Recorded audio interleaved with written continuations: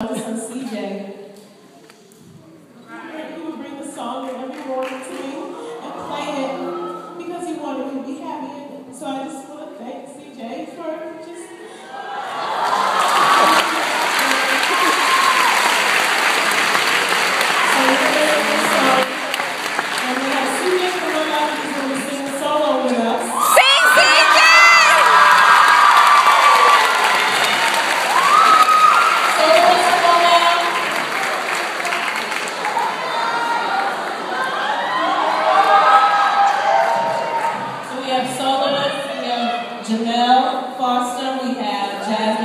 We have Brianna Thompson, we have, sorry, Brittany Thompson, we have